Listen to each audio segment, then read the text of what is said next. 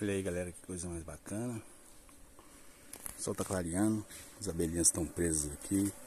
Teve algum vazamento aí, mas isso aí é o de menos, né? As telhas estão aí. Já descarregamos pau. Aí os meninos já estão fazendo aí, falta de descarregar um toco. E eu tenho quatro apiários nessa região aqui, lá na frente, lá uns 6 km para frente. E aí eu consegui esse lugar aqui. Já... O pé lá, Tchel. Vou buscar o pé. Beleza, Tchel, obrigado.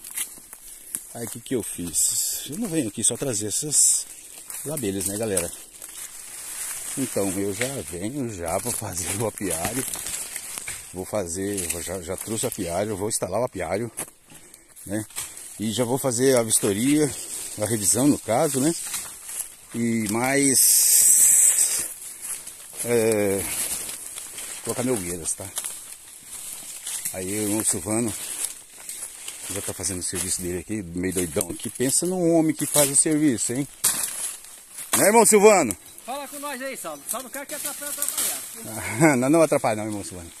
Trabalhar, não, tá... tá ficando filmando não, né, irmão Silvano? Ó o toco aqui.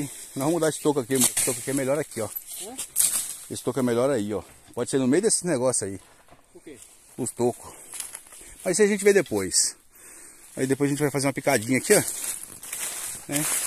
Pra trazer o Toyota até ali. E essa é a vida dos apicultores.